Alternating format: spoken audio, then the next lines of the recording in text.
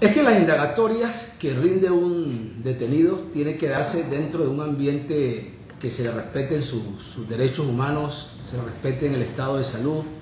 Eh, no se puede jamás eh, tomar la declaración a un imputado que no se encuentre en, condiciones adecuadas para brindar este tipo de, de mecanismos de defensa. Y Rafael Guardia hoy estaba muy descompensado, estaba muy mal. Eh, él ha perdido promedio de 10 libras en 4 o 5 días. Y por supuesto que en esas condiciones él decidió no declarar. Y lo decidió hasta segunda orden. A ver qué va a ocurrir en las próximas horas o en los próximos días. Con relación a peticiones básicas que él como colaborador está pidiendo, ¿no? De sentirse en un lugar donde pueda dormir tranquilo, de que su vida no corra peligro.